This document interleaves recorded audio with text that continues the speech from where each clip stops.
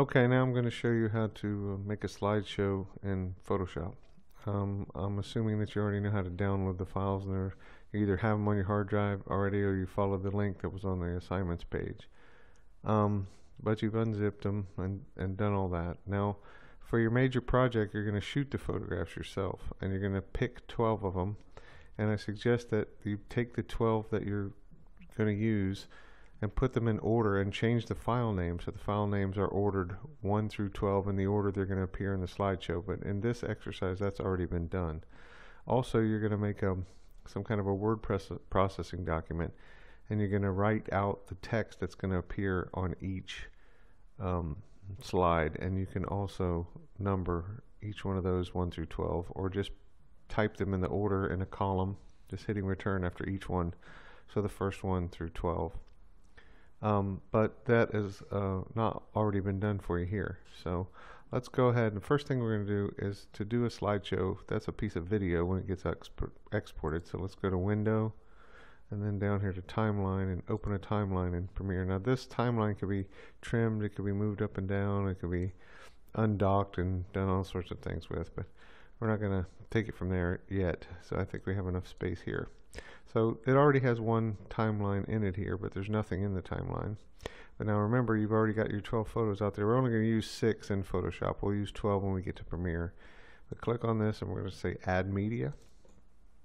And then you're going to navigate out to your hard drive into the folder where you unzipped the original photos to. And just click on the first one, hold down the Shift key, and then click on the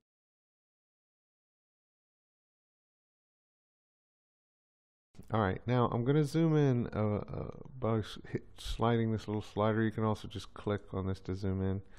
And once they're pretty large, um, and the reason for that is you have more control on extending them. Now, there are, I'm going to click on this first one. Notice it's the bottom layer here. And don't worry about the fact that they don't fill up the screen. We're going to fix that. But if you take this little mouse tool and your cursor here and click and start dragging, hold down the mouse and start dragging to the right, Pay attention duration there. They're all five seconds, but you're going to drag them out slowly and make them be 15. So this is 5, 15.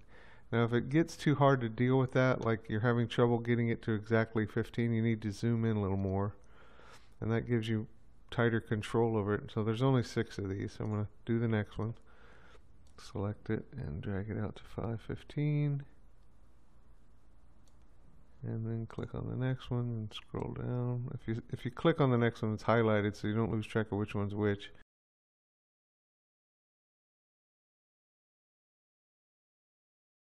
Okay, now that we've laid all six photos down on the timeline, we've extended each one out to be 5 seconds and 15 frames, which is five and a half seconds. Uh, we made this folder over here for the text, so now it's time to add the text.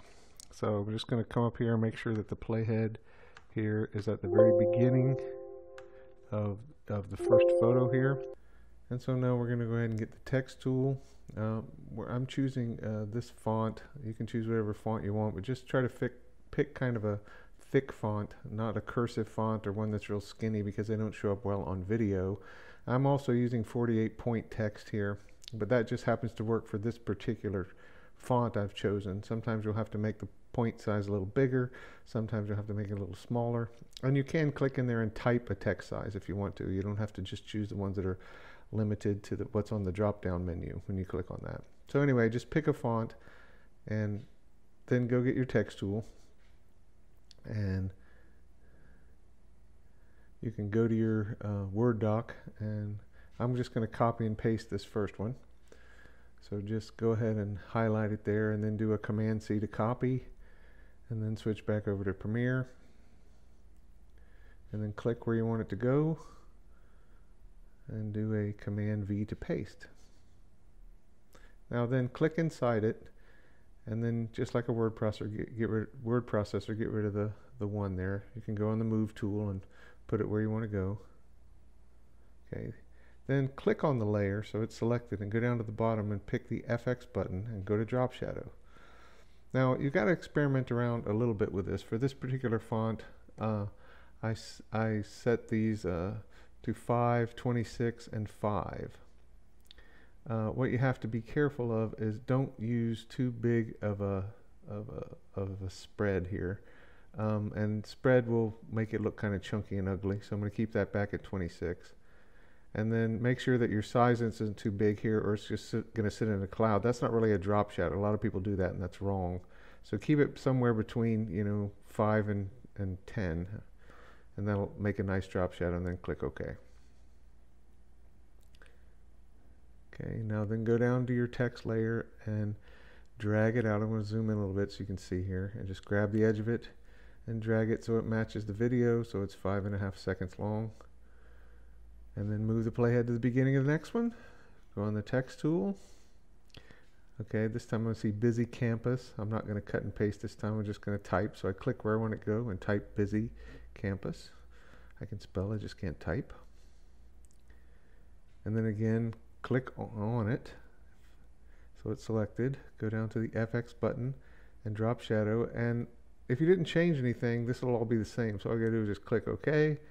Then if you want to, go to the Move tool, and you can move it around. And then don't forget to go down there and drag it out so it matches the second one. So now we're gonna um, cut the video, and you could do the same thing on the rest of these. Okay, now you've noticed that we've taken, uh, made each one of these texts. Let me zoom in here just a little bit. On each one of them, we have zoomed in and uh, and pulled it. So this one is the same length as this one. And so on they're each five seconds and 15 frames which is five and a half seconds. Okay? So now we're going to go back and we're going to put the um, the transitions in. So what we're going to do here is we'll come all the way to the beginning. And I'm going to go to the transitions button which is right here and click I'm going to make all the transitions half a second. Notice this says 0.5s, so I'm going to say eh, 0.5, and it'll put the s for me, so don't worry about, worry about that. So what we're going to do is we're going to do crossfades, and we can zoom out just a little tiny bit here so we can see more of them at a time. And we're going to drop it right here where they join together on both layers. So we're going to go up here and get crossfade and put one up here and one down here Notice how they line up perfectly. And then this one here, and this one here, and just keep doing that all the way down.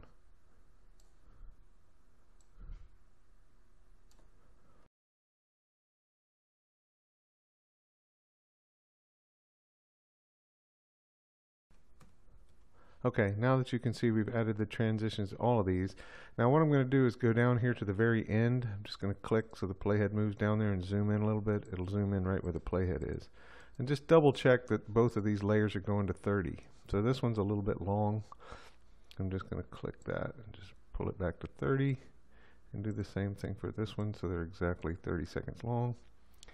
And then I'm going to add the finishing touches here. I'm going to do a little fade to black.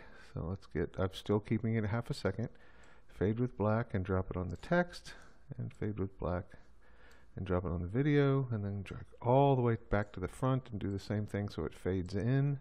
Drop one on the text and drop one on the video. Okay. Now I'm going to zoom back out just a little bit and we're going to add motion to the photos so they have some motion happening to them. We can also do the same to the text, but that's optional.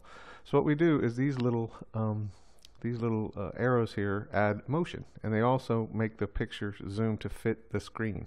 So we're going to click here, and we're going to go zoom. Let's have the first one do a zoom here. You got pan and zoom, pan. Pan and pan is moving left to right. Pan is moving left and right only. Pan and zoom zooms it. This zooms in or out. This rotates it. This rotates and zoom. Okay. So we're just just do a plain zoom when we got zoom in and zoom out. So let's do zoom in. And this little grid here says where it's going to zoom into. So if you're on the center here, it's going to zoom in and out from the center or to this corner or to this side or to this corner. So just choose a corner. Like if I want to go to upper right corner, let's keep this one to the center. And we want to make sure this checked to resize to fit the canvas so your image doesn't zoom out and reveal part of the background. So now if I click on this, and it's going to play back kind of slow because it isn't rendered yet and I'll explain render later but see how that's moving okay now also notice the text is not moving so it's optional but you can also do this to the text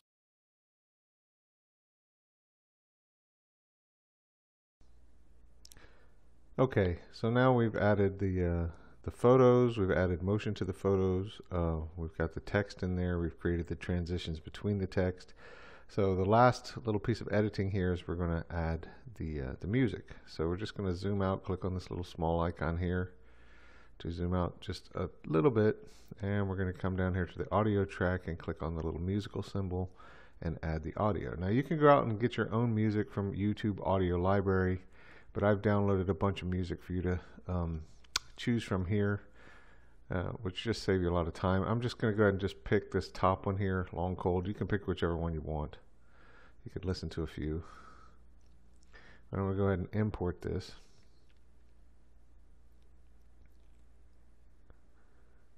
I'm going to shorten this. It takes a little longer, but I'll just cut the video here. And you'll see it's a lot longer than the actual pieces, but what you got to do is just click here in the timeline and just go to the end of your video here. But make sure you have the audio uh, selected and then just click the little scissors and it'll cut it. And then you just get rid of the part you don't need. Just click on it and hit delete on the keyboard. And then to uh, fade it in, you just do a right click and you're keeping the volume at 100%. The fade in, we're going to bring to one second. So you just have to click in here. Just get rid of the zeros and type one.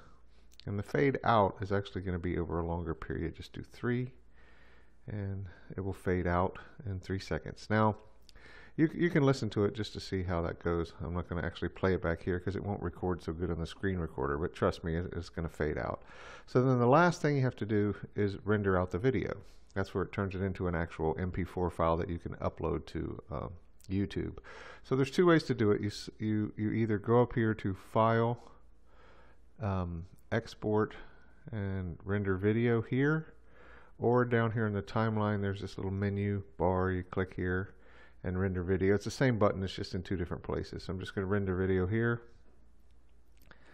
And again this little bar comes up and tells you how long it's going to take. Now this I'm going to give it a name here so I'm going to tell it to be um, PS for Photoshop slideshow. And this is where it's going to go to. So I've already got it going to my ICA uploads folder I made but you just click the select folder and just navigate to where you're going to do. It's going to look a little different because I'm on a PC here but you just navigate to your folder which is on your hard drive. Okay and then you don't change any of this. It's a H264 high quality. It's a 720p um, and everything else is the same so you just hit render and again I'm going to compress the time for this. I'm going to edit the video because it takes a little while. It takes a couple minutes for this to output. In the meantime, I will cut the video. Okay, so like I said, it, it probably takes uh, two or three minutes to output the video, and then of course, it, you know, you send it to your hard drive folder. So then all you have to do is just go there, and uh, and uh, you know, tell you know, upload it to YouTube. That's, that's all you have to do. Put it on your ICA's page for the ICA, and then when you do the final project, of course, you'll be putting it on your major projects page and lab labeling it as Photoshop Slideshow. Original Photos folder.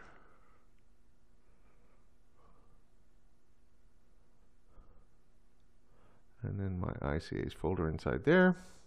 And there's the Photoshop Slideshow. Actually, it's this one. And uh, and I upload that to YouTube, and that's it. Okay, done.